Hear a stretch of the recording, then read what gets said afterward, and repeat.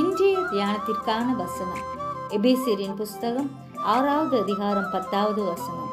கடைசியாக என் சகோதரரே கத்தரிலும் அவருடைய சத்துவத்தின் வல்லமையிலும் பலப்படுங்கள்.